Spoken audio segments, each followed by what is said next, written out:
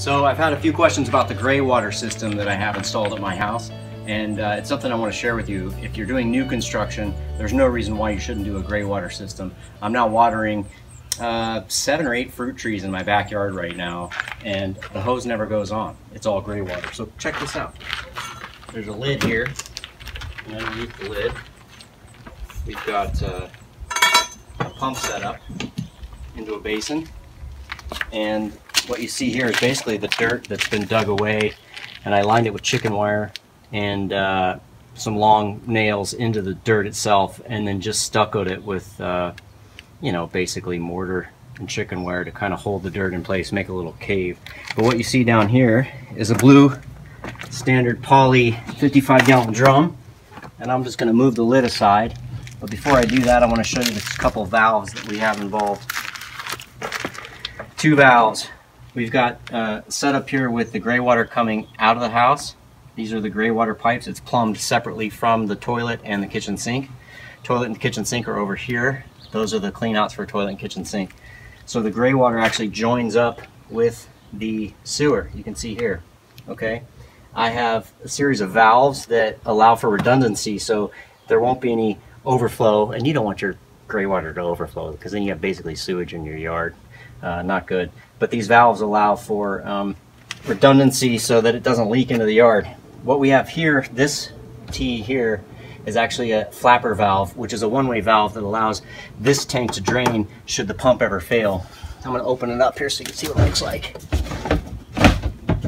So what we have here are a couple of valves. These red valves allow me to turn it off. If we're getting too much water, as in monsoon season, backyard's getting too wet, I can throw those two valves and that actually diverts all the gray water into the sewer.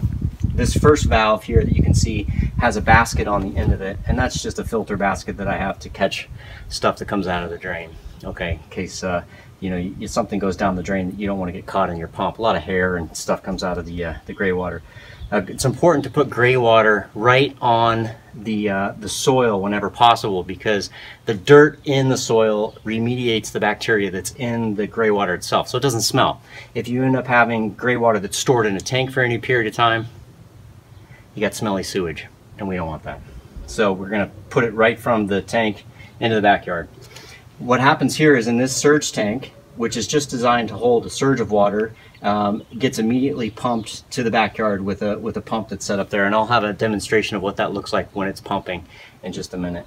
Um, but you you can see that the gray water comes into this tank, it's immediately pumped into the backyard with this pipe here, and this is just a piece of PEX that's connected directly to the pump. This PEX is just flexible pipe. And then it goes out into uh, a manifold in the backyard. And I'm gonna show you how that works here in the backyard in just a minute. So the water line just runs to a basic hose bib here that I put a manifold on. And this is just your basic four-way manifold. This allows me to control where the water goes from uh, a series of valves. So if a, a, system of trees is getting too much water, I can turn that off, I can turn another one on. So it does require me to maintain kind of a sight line on what tree is getting watered and what tree needs water and what's dry and what's not. So these are simply just turned on and off. The important piece to remember is you got to always keep one on because if you turn off all the valves to your pump, you're going to blow out your pump because it gets back pressured. So one valve has to be kept on at all times. And uh, that's basically how this system works. So what we see here is the water flowing from the house into the surge tank and being pumped to the backyard. You can see the pump in the backside of the surge tank there. And it is being pumped, in this case, to the grapefruit tree, uh, right onto the soil. Remember, when you pump gray water onto dirt, the dirt acts like a remediation medium for the junk, the other bacteria that's in your gray water, so it doesn't smell. If you store gray water, you're gonna have a smelly mess.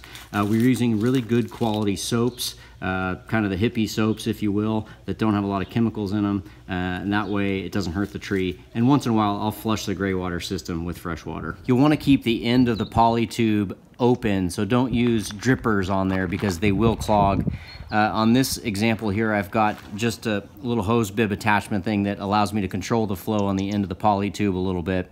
But again, it's not uh, apt to clog very easily, so that's going to be uh, just to control the flow. Um, in another case here, I did use uh, just the dripper lines off of a poly tube onto this peach tree. I ran a bunch of them, and those are again kept open. I didn't put the pressure regulating uh, emitters on there because they will clog. Even these poly tubes may clog, in which case I could just cut them off and replace them if I needed to. So I'm really happy with the way this gray water system has been performing over the last nine months. I don't have to turn the hose on and all my trees are getting recycled water.